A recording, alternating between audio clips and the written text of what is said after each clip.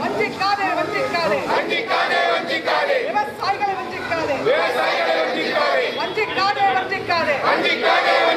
விவசாயிகளை வஞ்சிக்காதே மோடி அரசே மோடி அரசே உயருது உயருது கேஸ் விலை உயருது கட்டுப்படுத்து கட்டுப்படுத்து கேஸ் விலையை கட்டுப்படுத்து கட்டுப்படுத்து கட்டுப்படுத்து கேஸ் விலையை கட்டுப்படுத்து ஒன்றிய அரசே மோடி அரசுகளை ரத்து செய்ய மறுக்காதே வஞ்சிக்காதே வஞ்சிக்காதே விவசாயிகளை வஞ்சிக்காதே வஞ்சிக்காதே வஞ்சிக்காதே விவசாயிகளை வஞ்சிக்காதே மோடி அரசே மோடி அரசே.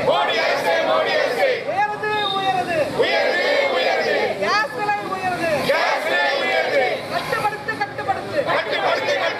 கேஸ் விலையை கட்டுப்படுத்து.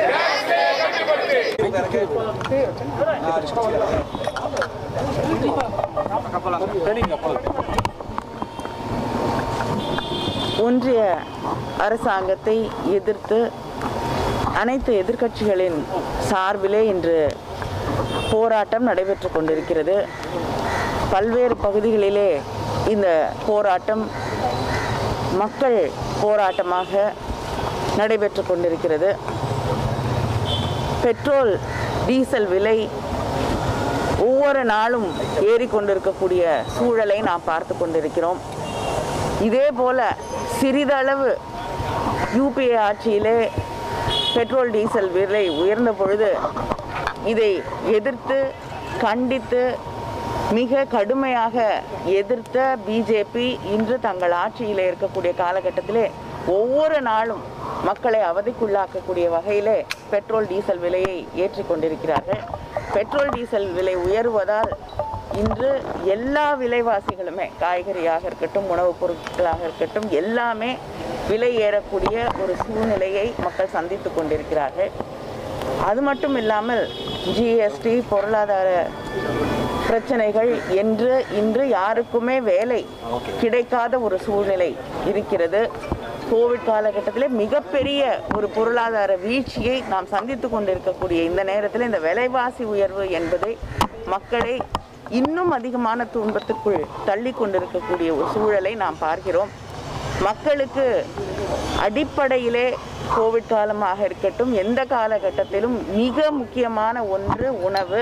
அதை உருவாக்கி தரக்கூடிய விவசாயிகளுக்கு எதிராக வேளாண் சட்டங்களை கொண்டு வந்திருக்கிறார்கள். விவசாயிகள் தொடர்ந்து போராடினாலும் அதை காதில் வாங்கி கொள்ளவே இந்த ஆட்சி தயாராக இல்லை என்பதை நாம் கண்கூடாக பார்த்து கொண்டிருக்கிறோம்.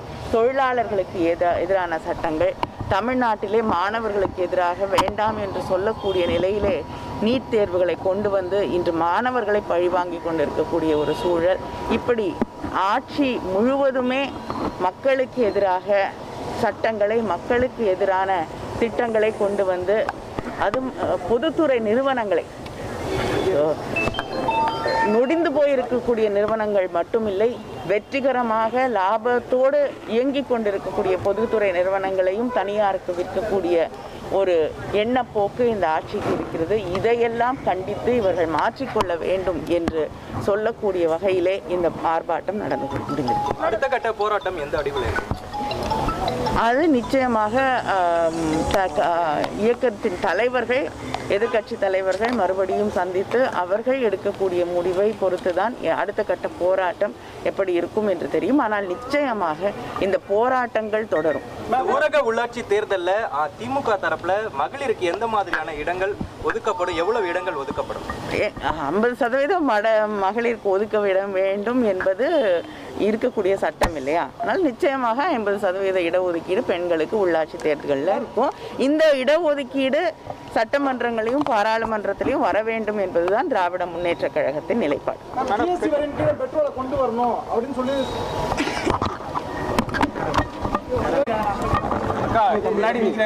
ஹலோ? இப்படி அவங்க சொல்லுங்க. வந்துருங்க. இல்லடா. இப்படியா? சென்னை குரூப்பில் தான் போட்ட மாதிரி இருந்தது. சரி ஓகே தெரியாமல் போயிட்டு இருக்கோன்னு நினைக்கிறேன்.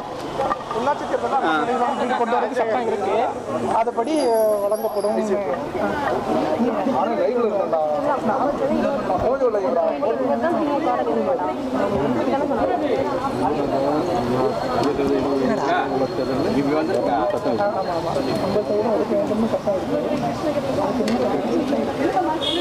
அதனால் அது கொடுப்போம். அதே போன்று நாடாளுமன்ற சட்டமன்ற தேர்தலில் ஐம்பது சதவீதம் இடஒதுக்கீடு வேண்டும் என்பதை திமுகவின் நிலைப்பாடு.